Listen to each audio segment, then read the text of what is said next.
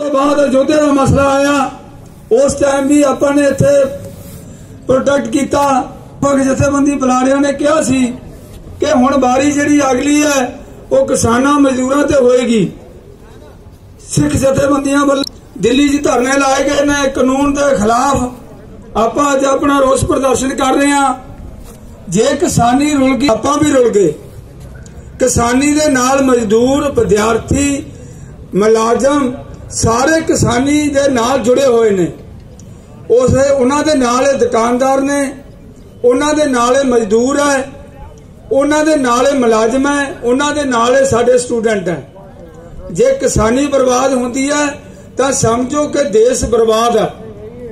ਇਹਨੂੰ ਬਚਾਉਣ ਲਈ ਆਪਾਂ ਨੂੰ ਕੱਲ ਦੀ ਜਿਹੜੀ ਉਹ ਢੀਕ ਕਰਨ ਤੋਂ ਬਾਅਦ ਜਿਹੜਾ ਵੀ ਮੋਰਚਾ ਉਹਨਾਂ ਨੇ ਲਾਇਆ ਹੋਇਆ ਕਿਸਾਨ ਜਥੇਬੰਦੀਆਂ ਨੇ, ਜਿਹੜਾ ਵੀ ਹੋ ਆਪਣੇ ਵੱਲੋਂ, ਪੂਰੇ ਇੰਡੀਆ ਵੱਲੋਂ ਉਹਨੂੰ 370 ਸੀਟਾਂ ਦਿੱਤੀਆਂ ਕਿ ਇਹਨਾਂ ਦੇ ਹੁਣ ਜਿਹੜੀ ਹੈ ਇਸ ਦੇ ਇਸ ਕਾਨੂੰਨਾਂ ਦੇ ਦਲੀਲਾਂ ਦੇ ਇਹਨਾਂ ਦਾ ਕੋਈ ਅਸਰ ਨਹੀਂ।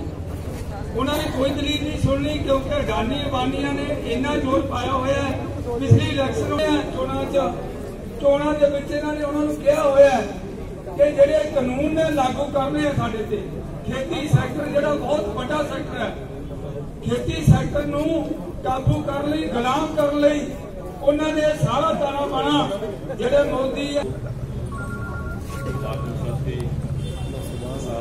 ਜੋ ਦੇਖਣਾ ਮੇਰਾ ਜ਼ਰੂਰ ਬੁਲੰਦ ਹੋਵੇ ਵਾਹਿਗੁਰੂ ਜੀ ਕਾ ਖਾਲਸਾ, ਵਾਹਿਗੁਰੂ ਜੀ ਕੀ ਫਤਿਹ। ਯਾਰ ਮਜ਼ਾ ਨਹੀਂ ਆਉਂਦਾ।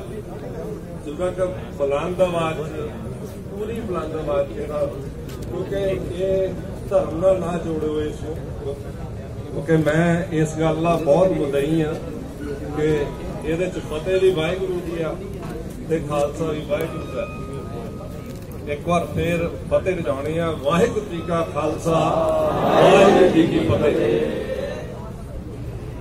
ਇਸ ਤੋਂ ਪਹਿਲਾਂ ਕਿ ਹੋਰ ਗੱਲਾਂ ਕੀਤੀਆਂ ਜਾਣ, ਮੇਰੇ ਤੋਂ ਪਹਿਲਾਂ ਬਹੁਤ ਚੰਗੇ ਚੰਗੇ ਬੁਲਾਰੇ ਬੋਲ ਗਏ ਮੈਂ ਮੈਡੀਸਨ ਫੈਕਲਟੀ ਦਾ ਵਿਦਿਆਰਥੀ ਹਾਂ Mazya'da